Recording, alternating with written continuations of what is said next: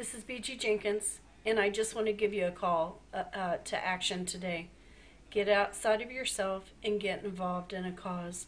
This great group of men and women, the Patriot Guard Riders, are uplifting and supporting those who have sacrificed and given their lives for us.